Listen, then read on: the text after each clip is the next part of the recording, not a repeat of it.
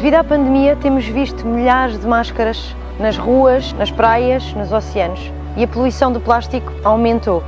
O plástico já era uma grande ameaça ao nosso planeta e agora mais ainda. Há animais a morrerem sufocados com as máscaras. Estima-se que 75% das máscaras descartáveis vão parar aos oceanos. Eu sou Cuca Roseta, sou embaixadora da Mirpuri Foundation e juntos nós vamos conseguir mudar estes números.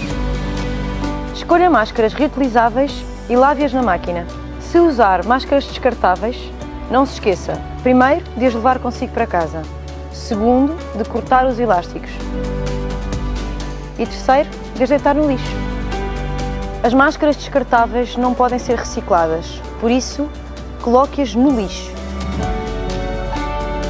E por último, lembre-se, nunca deite a sua máscara para o chão. Proteja-se a si e ao ambiente. Juntos conseguimos lutar por um mundo melhor.